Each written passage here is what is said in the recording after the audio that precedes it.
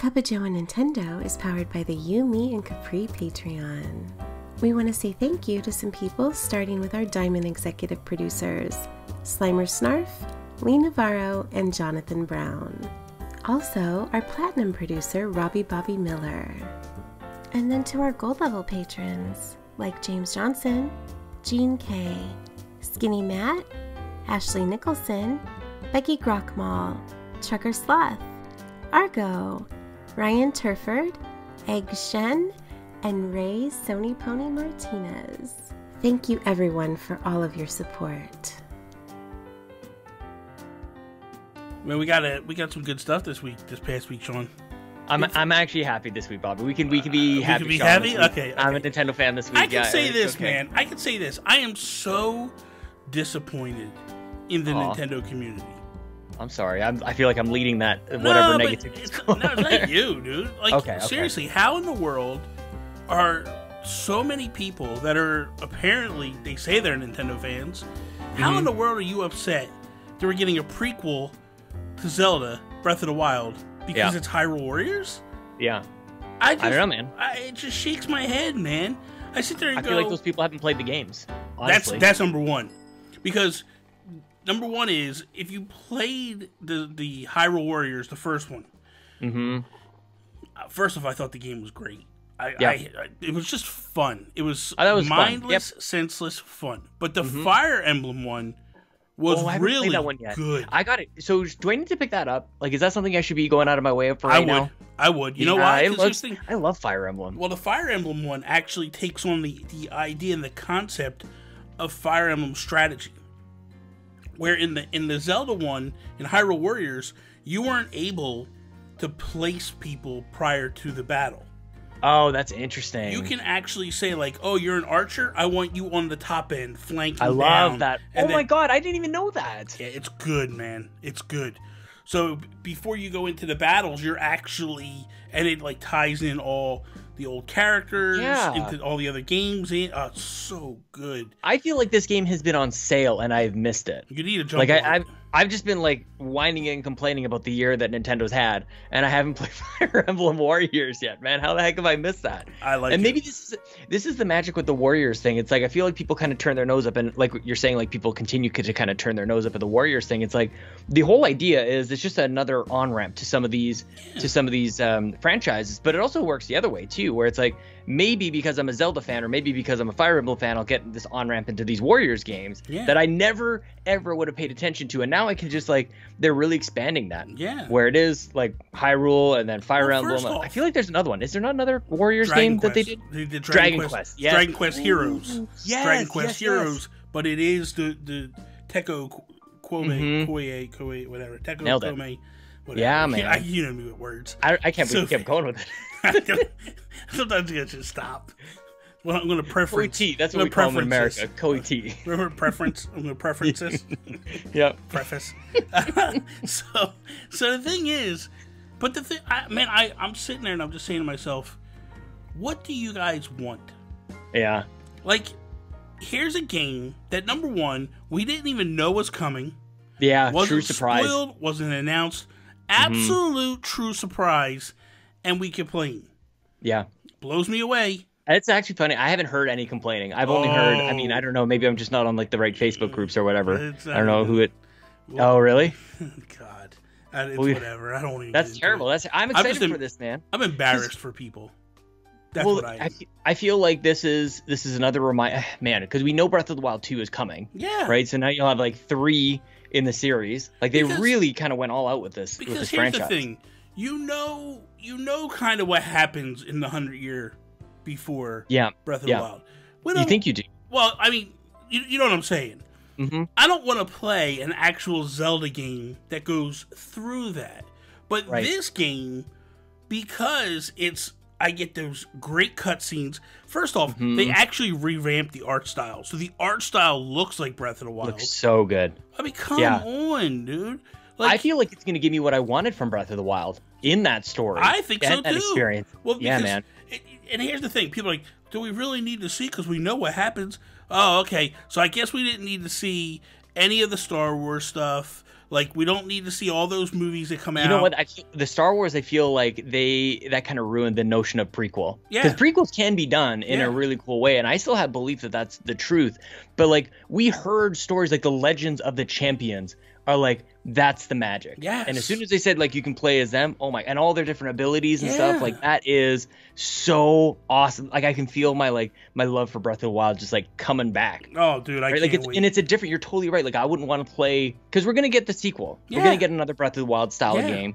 This is actually this is actually so smart. And I don't know going- at what point they, they thought of this. what this is going to do for me is it's going to make me because I believe Breath of the Wild 2 hits in March along with the new Switch, which we'll get I agree. into. We'll talk, Yep. We can talk about that. Yeah, I agree. But I think that that comes in. So for me, it sets me up to go, okay, you played a prequel?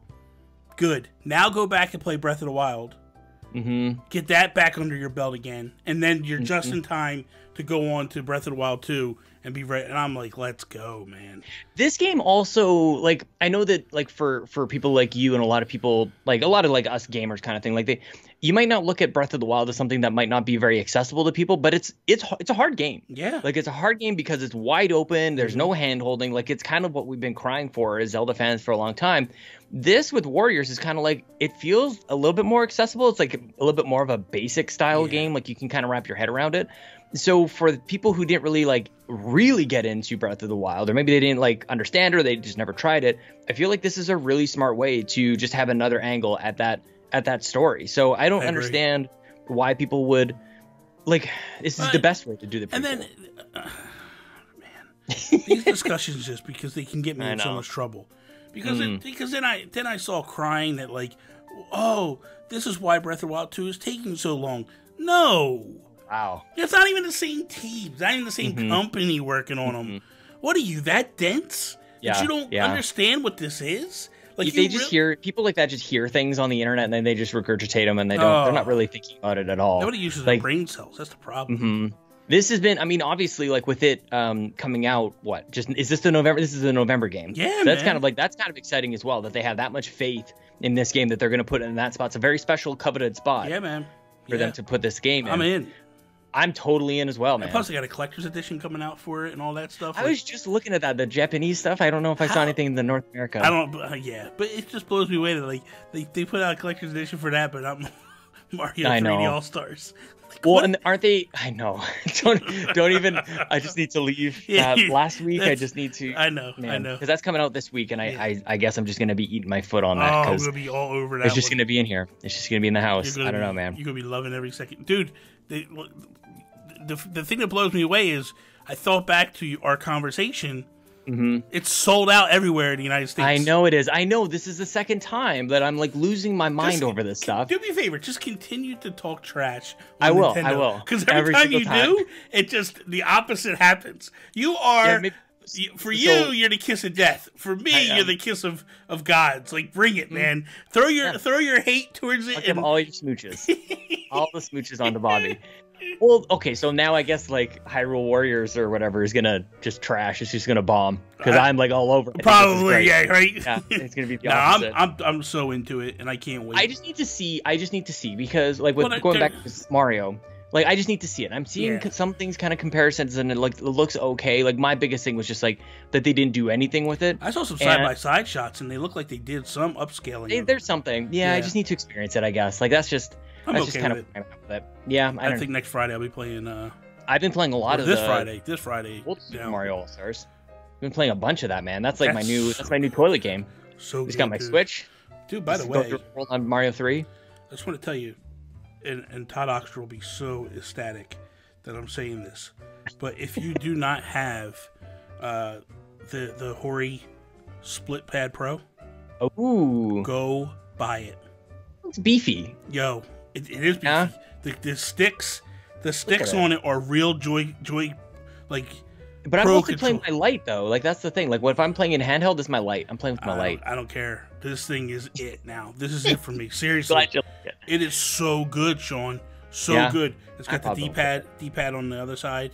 Oh, Like- that is good. Yeah, the D-pad is. kinda and the dude, the uh, the pro controller it's like a Pro controller stick. It's thick. It's Oh meaty. yeah, look at that. The buttons are regular Pro controller buttons, not Mhm. them little tiny baby hand buttons. Like Yeah, they're kind of squishy on the light. I gotta say, like the Mm. buttons are a little, they're, they're a little squishy. So when I'm playing like Mario, the love originals, I kind of need them a li- little more snappy. You know, like a mechanical keyboard. I love it. Just give me, let me play with the keyboard and mouse. I love Mario. it. I love it. Takes a second to get used to because it feels a little bigger.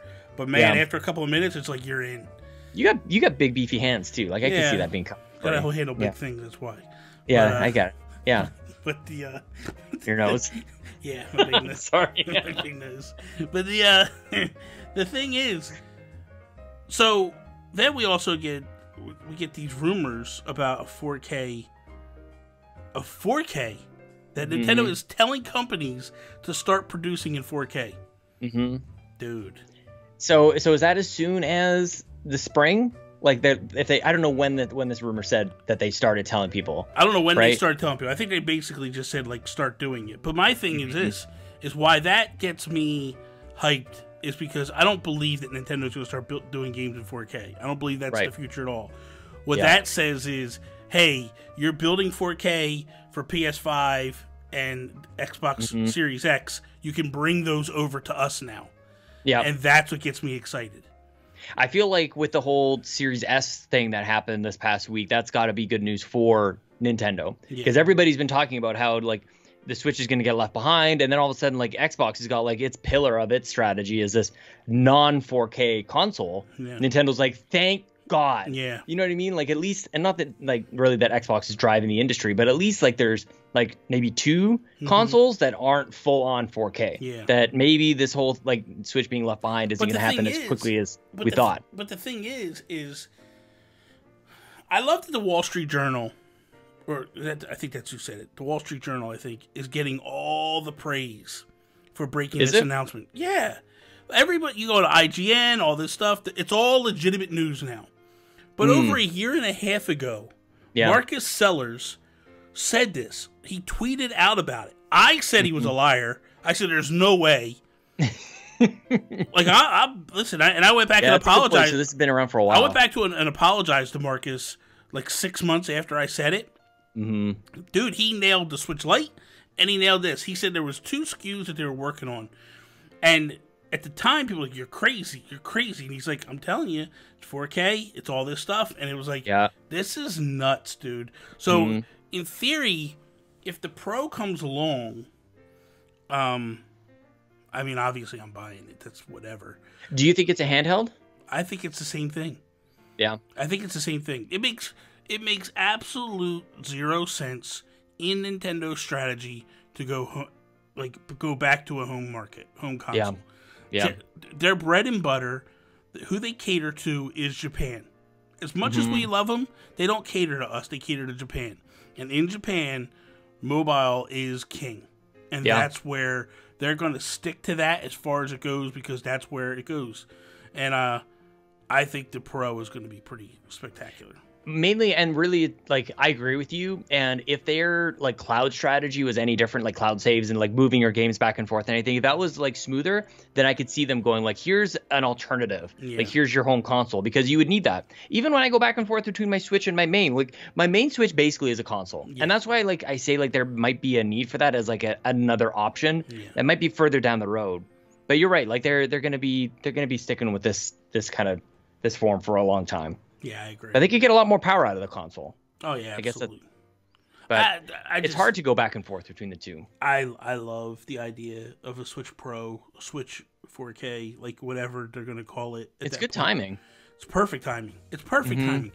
To me, it makes the absolute most sense, and it, it it amazes me because it also kind of leads into something we've been saying for a while now is that the next move for Nintendo is when the other companies start to actually push their narrative and get it out, and it's almost like identical to Xbox's announcement. Here comes these rumors that there's a 4K Switch on the ri- ri- Yeah. on the horizon, and it's looking to look like you know March ish, you know, Mhm. which is just astounding to me.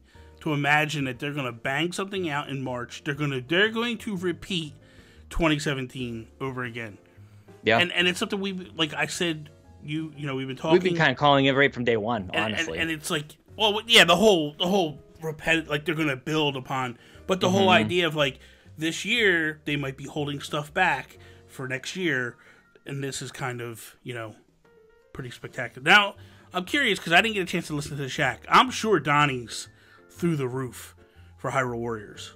Oh yeah, yeah. They're all like. Re- I mean, now we're they're kind of like going around like what what the remainder of the year, and it's like maybe it's not so bad. We just had this giant gap between you know Animal Crossing and really what like Super Mario, and then we have Pikmin Yeah. right in October, and Yeah. then Zelda in December. So I mean, like Pikmin is just funny. Like Pikmin feels like a bit of a filler in that spot. of course it does, but I'll I'll be there day one. I'll be buying that again. Yeah. Are I you just, really? Yeah, yeah. I loved Pikmin three. Loved Yeah. Pikmin three. Because here's the thing with Pikmin three, what I loved about Pikmin three was, I mean, I didn't play the game to completion every time, but Mm-hmm. every couple, like every six months when I had the Wii U, I would Mm-hmm. start fresh at the beginning and play through for a couple of days and like knock out five, six hours of gameplay. The, it's so peaceful. The music's so calming. It's just That's like the last word I would have described Pikmin. I feel very stressed when I think about oh, Pikmin. I never feel stressed because I Oh, focus. that's the difference between us. Well, because as I play, I'm focusing on my next objective. Like as Yeah. I'm working through an object objective, I'm thinking about what the next day is going to bring and what Mm-hmm. I need to do. I never felt stressed when I played that game. Oh wow, you and Chelsea too. I think Chelsea. Well, I, I think Chelsea maybe still a bit stressed, but she can pull through that. I Like she just she can play for hours on that game. I'm I like guess- mission or two at a time. That's it for me. I guess the music is what did it for me. The music is very soothing. Well, the art style is gorgeous. Like that's Oh the one thing that really, especially on a Nintendo system, like that level of like you're right on the ground. That level of detail Mhm. was not. You're not really used to that sort of thing, especially No. on Wii U. Looked really good. Yeah. and that's really kind of like where I'm at. It's very this is unique to me. This is a this is a Sean problem, and not really a problem. It's just my situation. Like Lincoln is on the other side of this the door. Yeah. He's playing whatever Face Breakers or whatever it is on the 2DS, like the thing where you put your your face in the game. He's playing all these AR games. He's playing his 2DS. He's loving it. And if he's not playing that, he's playing Wii U. Like we have our Wii U plugged in and it's active, dude. Like I want to play Pikmin 3 on it. I want to play all these games that are like they're getting ported over. I don't have to Yeah. rebuy them again. Where most people, and that's why they're having so much success with this, is now they've got what 60 million Switches out in the wild, Mhm. selling all these great games that are on the Wii U. I'm like, I have these. Like, why don't I play them? I could legit go back into my backlog, like a lot of us can, and go like now that October is coming up. I was just thinking like I never actually played Luigi's Mansion all the way through. What a perfect October Yeah. game. We're already a year out from Yeah. when that happened. So Crazy. I don't really have a like I can just I've got a lot of games that I can play. Yeah. You can just just go play I, those. I too haven't played Luigi's Mansion to completion. I Mhm. barely put a dent in that game, so it'd be Mhm. it'd be Same nice. with Astral Astral Chain. That's another one. Oh my god, yeah. Never beat that one. I got a lot of games in my backlog that I haven't. My pro, my biggest problem is is that I have two switches, and one Yeah. switch has all the games on it, hmm and the other switch is very limited. And I'm always playing on the one that's very limited, and I barely Oh, go I back see. to the other one. hmm I was playing a little while ago. I was playing uh, Splatoon two. Were you? Really, I was just watching Lizabelle play. We put she was our like dinner time entertainment. Yeah. like, let's put some on TV, and she was on there. And that was the first time Lincoln saw Splatoon 2, Oh. and he loved it. It's amazing. It's like it's such a good game. I was playing with Rybo and Nasty and Tammy. oh, I love it. Good for you. That's So awesome. The four of us were in chat. We're in voice chat. We're all playing Mhm. together, and uh, and I was just smoking nasty so badly, and it was such so pleasurable because he always talks trash about how bad I am he does. and Yeah. how good he and I just was pouncing him and crushing him game Wow. after game after game after game, and Mhm. it just felt so satisfying. Yeah, but I, I, but it, it makes me want a Splatoon three so Of course. badly. yeah. so badly. What would you like? What what can they change? Because they didn't really change a whole lot. They added whatever the the salmon run, The salmon run. and like I don't feel like that really took off. It was very limited It was, in the way that they did it. it. It made it hard to jump into Yeah, and really get used to it. If for me, Battle Royale, Splatoon. well, obviously I would love a battle royale thing, but I Wouldn't would that do it. interesting. I would do it in teams, and basically the way I would do it is have a bigger awesome. map, right? You Like do, Fortnite did. Didn't Fortnite do 50 on 50 or something like that? Fortnite does fifty on fifty all the time, but I would do it. I would do no, no, no. I would do four v four v four, right? Break your teams into fours across the board, right? Mhm. And then what you do is you have a timer that counts down. Yeah. And like, let's say you have. Oh my god, this is such a no-brainer. Yeah, and then And, like- like whoever has the least amount of paint on the ground, boom, you're eliminated, you just keep working your way down. Oh, interesting. Okay, okay. Well, and I was also thinking like the circle would be controlled by Water. by paint or water. Some some water, the because off water kills them. Yeah, water kills them. So you Just could have- straight water. Okay, I was just thinking because if it's not your color, you can't move very fast. Well, but still, but And then if you you could be had if you had a thing stuff. where the ground was sinking and the water is Mhm. rising, that would be cool. interesting. That'd be really good. Yeah. Yeah, can we just like can we just make games? That would be amazing. That would be Seriously. amazing. Yeah, because dude, the idea of swimming up buildings and all that stuff, Right. because it takes away the building aspect in Fortnite. You Mm-hmm. know, Fortnite you build. With this, you're going to swim up buildings rather than build up to get up a building. Oh my god. Is this actually the number one battle royale idea for a Nintendo franchise? Like we've talked about Mario Kart and it like maybe feels a little shoehorned in, Mario like a battle Kart, mode. Mario Kart, I don't think would be. I think Mario Kart would be fantastic. Battle mode or battle royale would fix battle mode. It would actually I like, wouldn't even do rejuvenate it, I battle mode. I would not do a battle royale battle mode. I would do a battle royale race. Mhm. And what it is is you put a hundred carts on a track. It's a straight track, right? Or it could be an Yeah. oval, whatever. But it's a bigger track than normal. Yeah. And you're racing, and then a timer is clicking down. Or if you did, like you know, you know how you do the. Uh, Just think of how a normal race goes though, where you're in first, then all of a sudden you're in last, and then that's when you get That's fine. eliminated. That's- oh my god, I would pull it's up my the hair. rage. It's the rage of Mario Kart. But if you think about it, like if you did it, I was talking about this with uh, with Holly the other day. But I was like, if you had like a long course like Mount Wario, where Yeah. it's a straight run, Just and then you yeah. go like, well, you have to get to this point, and once this point's done, nine ninetieth to a hundredth, you're out, and Mm-hmm. Yeah. then it then you have another point you have to go to the next. It goes to the top eighty, top Very seventy, Fall top Guys. sixty. Yeah, exactly like Fall Guys. Mhm. Just start eliminating people off the top, and then work your way down to the final ten, and then you have like a three three lap shootout for the win.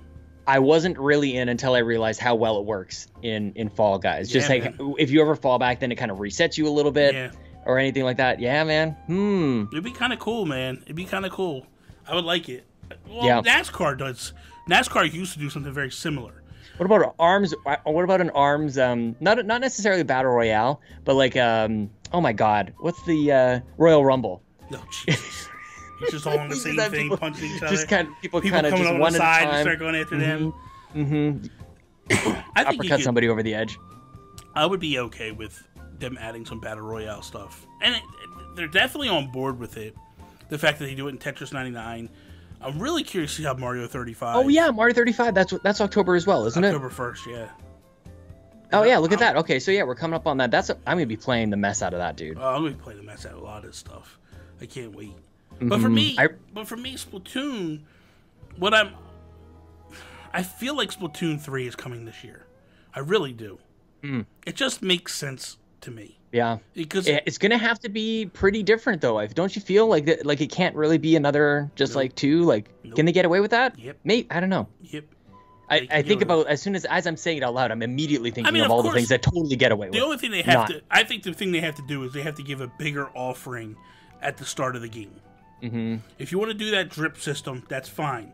I see what you mean. Give yeah. more maps. There's some changes they need to make. They need to Yeah. make like a voting system on the map you're going to go into. Very Mhm. similar to Mario Kart. Mario Kart, Yeah. they put up three maps and then random, and then everybody votes in the lobby, and then boom, you go over. That's the answer. That is the Yeah. answer for Splatoon 2. But the Yeah. problem is the reason why they won't do that is because of the web the loadouts. And I think the answer to that is even you have two different loadouts. So you have a map that's a Oh yeah, like any other shooter. yeah, you just Yeah, have you can have custom loadouts. you have custom loadouts, and you just go like, "Hey, this is the map that got picked. What loadout do you want, A or B?" And you pick it and done.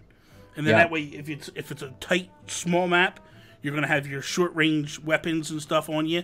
And if it's a wide, then you might go snipers and stuff like that. So yeah.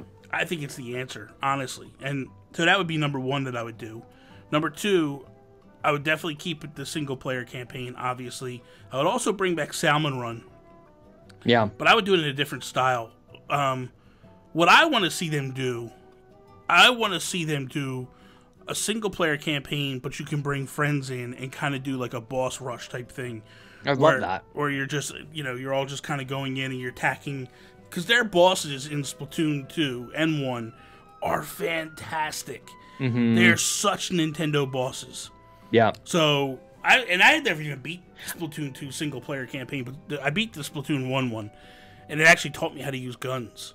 So, Mm-hmm. I kind of want like all the all the modes that are like kind of locked behind rank mode to be not locked behind rank mode. Like as a as a just yeah, a casual player, Just to be like, Like, hey, we want I to want to play those modes, Yeah.